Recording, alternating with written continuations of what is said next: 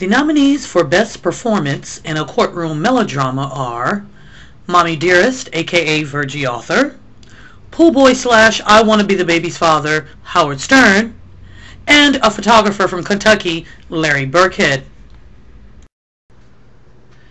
And the Oscar goes to D. All of the above. Basically. I mean, all three of these clowns have received reparations, y'all. Coins, things that fold. At the end of the day, people, cash. All in connection with the sudden death of Anna. I mean, the body isn't even cold yet, but it is quickly decomposing. I think I can smell it from here. it's about to be called makeup and a closed casket. That's what it's going to be. They keep playing. Okay, there hasn't even been a funeral yet. And we have Howard giving paid interviews to Entertainment Tonight on chartered jets. Larry selling archive photos of Anna to salacious websites.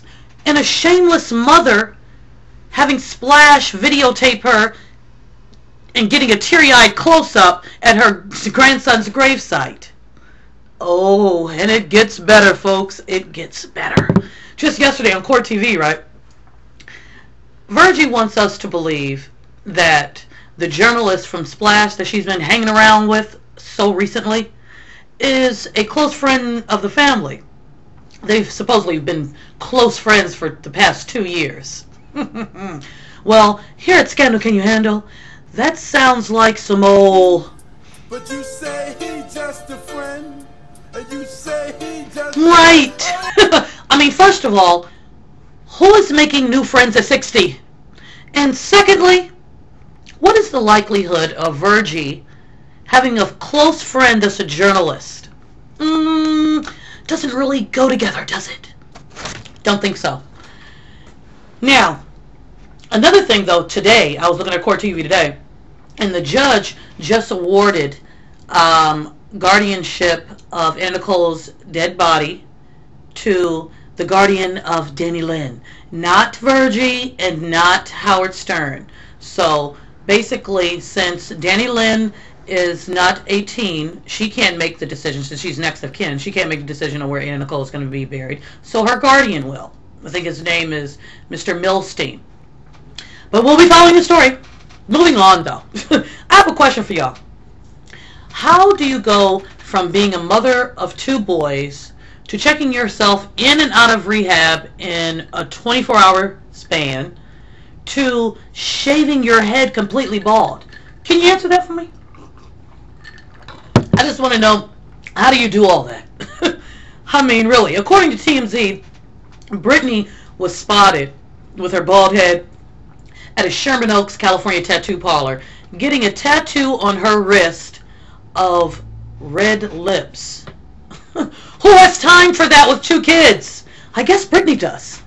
But she needs to take her ass home and raise them children. That's what she needs to do.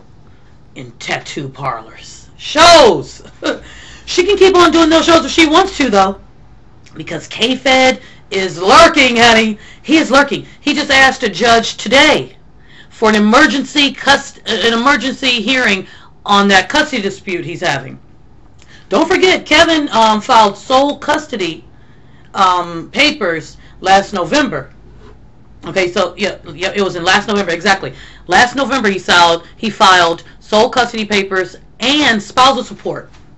Hey Britney, slow down, low down. Kevin is about to have custody just as quick as you bolt out of those rehab facilities. You better stop playing, girl. Shaving your head for what? Okay, before I get out of here, y'all, I have some NBA silver bracelet action for you. Hmm. Indiana Pacers Jamaal Tinsley and Marquis Daniels have been indicted on what? Assault charges. Yeah. See what I'm saying? Supposed to be throwing basketballs, not throwing fists, people. ESPN reported yesterday that the two players were in a club in Indiana. Here we go again. In a club in Indiana and got into a scuffle. Now they're being charged with assault charges. Uh, y'all don't y'all don't get enough of snatching them boys up from that rucker.